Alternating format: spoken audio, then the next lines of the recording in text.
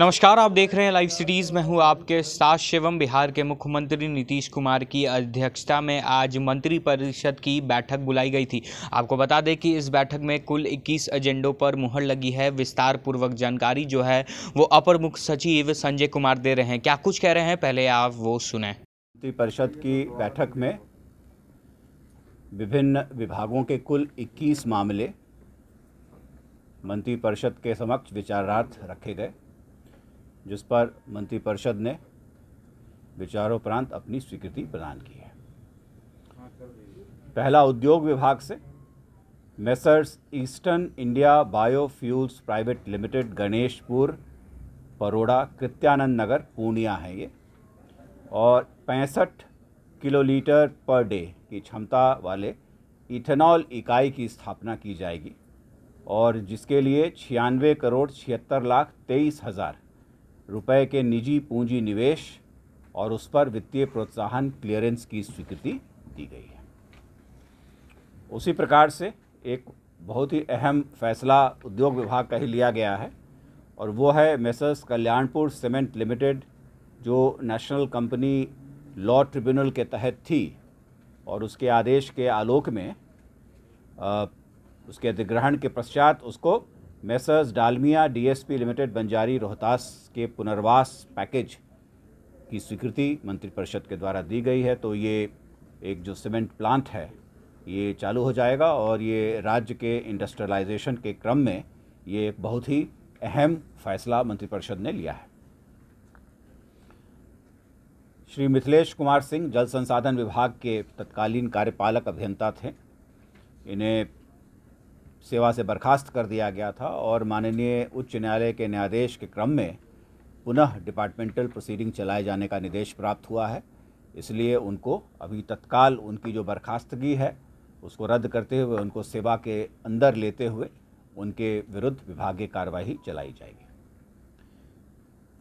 राज्य में वित्त विभाग का है। राज्य में दिनांक एक नौ दो हज़ार पाँच से और उसके बाद जो कर्मी नियुक्त हुए हैं उनके लिए नई अंशदायी पेंशन योजना लागू की गई है और उस राष्ट्रीय पें उस रा, उसे राष्ट्रीय पेंशन प्रणाली के रूप में अधिसूचित किया गया है और जो वित्त विभाग का एक संकल्प है इकतीस इकतीस आठ दो हज़ार पाँच में उसमें जो उल्लेखित जितने भी कर्मी हैं उन सबको उसके तहत लिया गया है उस उनके लिए विस्तारित किया गया है।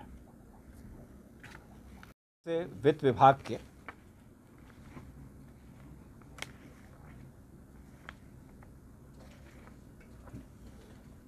इसी प्रकार वित्त विभाग के द्वारा जो एक सात 2021 से जो डीए बढ़ने की स्वीकृति हुई थी तो उसमें जो जुलाई और अगस्त का जो भी बकाया राशि है, वो सीएफएमएस में एक ही महीने का लेता है। इसलिए उस ये मंत्रिपरिषद ने निर्णय लिया है कि इसे इस बकाए राशि को अक्टूबर महीने का जब वो सैलरी लेंगे तो उसी के साथ उसे एक मुश्त करके उसका भुगतान कर दिया जाएगा। वित्त विभाग के ही दो अन्य अहम फैसले हैं। एक है कि कुछ एक कर्मी हैं वित्त हम बिहार सरकार के जो सिक्स जो सिक्स पे कमीशन से गाइडेड होते हैं। तो जो सिक्स पे कमीशन से गाइडेड होते हैं उनके लिए एक सात 2021 से उनका जो डीए था, वो एक प्रतिशत से बढ़ा करके एक सौ वन एटी नाइन किया गया है। और जो पंचम पे स्केल से कनेक्टेड हैं, कुछ एक कर्मी हैं,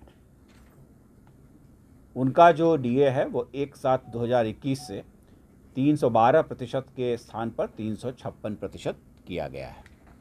तो ये वित्त विभाग के फैसले थे। सामान्य प्रशासन विभाग के द्वारा जो बिहार तकनीकी सेवा आयोग अधिनियम 2014 है और उसका जो एक्ट है, उस एक्ट में संशोधन किया गया है और संशोधन का जो प्रारूप है, इस पर आज मंत्रिपरिषद के द्वारा स्वीकृति दी गई है। वर्ष 2022 का जो कैलेंडर ईयर है उसमें निगोशियबल एक्ट के तहत जो छुट्टियाँ दी जाती हैं, आज उन छुट्टियों के प्रारूप पर मंत्रिपरिषद की स्वीकृति दी गई है। और ये हर वर्ष होता है। और श्रीमती संगीता रानी हैं, तत्कालीन सब जज सह A C J M Manjhaul Begusarai. इनको दंड स्वरूप, इनको आज कंपलसरी रिटायर करा दिया गया है। मद्य निषेध उत्पाद एवं निबंधन विभाग के द्वारा बिहार मद्य निषेध और उत्पाद अधिनियम 2016 की धारा पंचानवे के तहत बिहार मद्य निषेध और उत्पाद नियमावली 2021 को जिस दिन से वो गजट में अधिसूचित होगा, उस दिन से उसे लागू करने का निर्णय मंत्रिपरिषद के द्वारा लिया गया है। और इसी प्रकार गृह विभाग के द्वारा बिहार कारा एक्सरे टेक्नीशियन संवर्ग नियमावली 2021 के गठन की स्वीकृति दी गई है। जो पहले परिवहन विभाग के अंतर, जो राज्य परिवहन अपीलीय न्यायाधिकरण था, उसको पुनर्गठित करते हुए उसे राज्य स्तरीय दावा न्यायाधिकरण का रूप दिया गया है और उसके सुचारू रूप से चलाने के लिए अपर जिला परिवहन पदाधिकारी एवं समकक्ष स्तर के दो पद एमवीआई के स्तर के दो पद, आशु लिपिक का एक एक उच्च वर्गीय लिपिक और एक निम्न वर्गीय लिपिक के पद को, के सृजन का प्रस्ताव था जिस पर मंत्रिपरिषद के द्वारा स्वीकृति दी गई।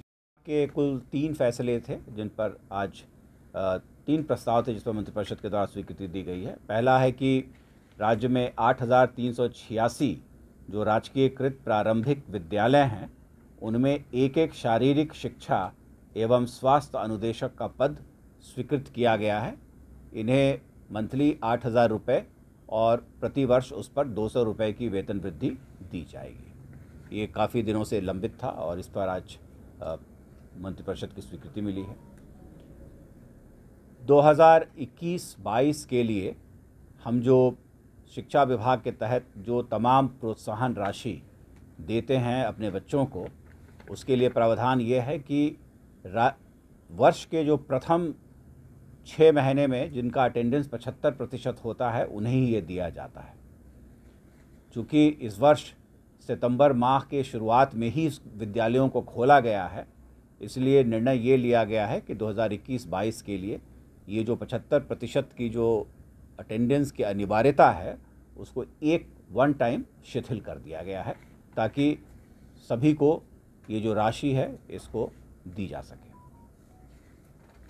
और रूसा जो राष्ट्रीय उच्चतर शिक्षा अभियान है, उसके कार्यान्वयन के लिए राज्य सरकार ने स्टेट हायर एजुकेशन काउंसिल का गठन किया है, राज्य उच्च, उच्चतर शिक्षा परिषद। तो इस राज्य उच्चतर शिक्षा परिषद में कुल 20 पदों के सृजन की स्वीकृति मंत्रिपरिषद के द्वारा दी गई है, जिसमें सात पद ऐसे हैं जो नियमित सेवा वाले पदाधिकारी उस पर डिप्यूटेशन के आधार पर आएँगे और तेरह पद ऐसे हैं जो जिन पर संविदागत नियुक्ति की जाएगी। जो माननीय उच्चतम न्यायालय के आदेश के क्रम में जो बिहार राज्य हस्तकरघा और हस्तशिल्प निगम है और बिहार राज्य औषधि एवं रसायन विकास निगम है। उनके कर्मियों के वेतनादि भुगतान के लिए मंत्रिपरिषद के द्वारा सतहत्तर करोड़ पाँच लाख छब्बीस हज़ार रुपये समतुल्य राशि सशर्त ऋण के रूप में बिहार आकस्मिकता निधि से अग्रिम स्वीकृति देने के प्रस्ताव पर मंत्रिपरिषद के द्वारा स्वीकृति दी गई है। द्वितीय चरण की स्वीकृति ये प्रस्ताव ग्रामीण विकास विभाग के द्वारा लाया गया था। उस पर स्वीकृति मंत्रिपरिषद के द्वारा दी गई है। और अभी आपको जानकारी है कि पंचायत के इलेक्शंस चल रहे हैं तो पंचायत के इलेक्शंस को निष्पक्ष और पारदर्शी रूप से चलाने के लिए दो महत्वपूर्ण निर्णय लिए गए हैं। एक है कि बिहार पंचायत आम निर्वाचन 2021 के अवसर पर डबल वोटिंग नहीं हो, इसलिए प्रत्येक बूथ पर बायोमेट्रिक्स की व्यवस्था की जाएगी। और इसके लिए भारत सरकार का एक उपक्रम है Broadcast Engineering Consultant India Limited ये बेंगलुरु में है। इसको नॉमिनेट किया गया है। और उसी प्रकार से प्रत्येक मतदान केंद्र पर जो मतदान चलेगी और जो मतदान की प्रक्रिया होगी, उसकी लाइव वेबकास्टिंग की जाएगी। तो उसके लाइव वेबकास्टिंग करने के लिए निक्सी जो भारत सरकार की ही एक उपक्रम है उसको मनोनीत करने का निर्णय मंत्रिपरिषद के द्वारा लिया गया है।